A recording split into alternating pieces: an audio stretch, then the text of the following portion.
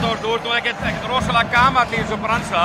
En hefur einhvern veginn upplifað svona vísnúningi sem gerist þessi setna ár? Nei, ég er náttúrulega verð bara að byrja að óska Grindavík innlega til hammingu með að vera komin í úrslitin og þeir náttúrulega gjössalega skilið. Það er náttúrulega, já þetta var bara stál í stáli fyrir Hárvík og svo koma þeir bara með einhverja orku og einhverju rosalegstu hitti bara sem ég séð lengi og já, þeir bara verðskuldað. Ég, ég, held að það hefði ekki klikkað og þryggjast að sko því þriða leikast, getur það verið það, þú veist? Mér leiði alltaf hannu, en þú veist, það geti alveg vel passað hjá þér. En þú veist, fyrir okkur sem að skiljum þetta ekki, menn, hvað gerist þeir?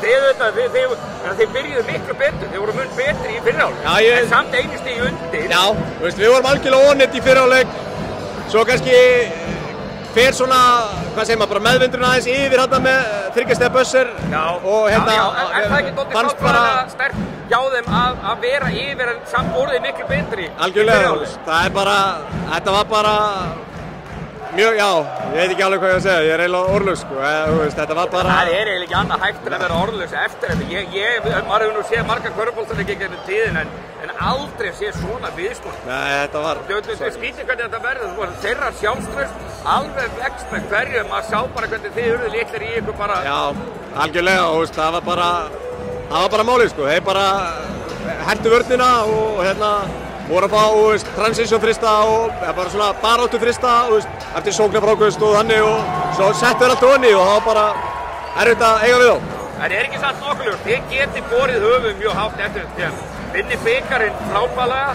og þið munið alveg geta sagt hvað hefði gæst ef þið hefði ekki mist eitthvað besta leikmann Já, nokkla, ef hefði leikurinn alltaf, alltaf vanni sko, en hérna já, maður er alltaf alveg grautfull núna að tapja leik 5 en þú veist, á morgum er þið öruglega, kannski já, sáttum er þú veist, já, eins og segi byggarmistartitill, það var langt síðan kom stórtitill í, í Keflavík, en já, ég er alltaf bara grautfull núna En hvað með, hvað með framaldið hjá þér? Er þú áfram í Keflavík? Já, ég er áfram í Keflavík og við ætlum bara... Pétur vonandi áfram? Pétur áfram vonandi og við ætlum bara að byggja á þessu og hérna mæta sterkara næsta ári. Frábært, takk. Takk fyrir það.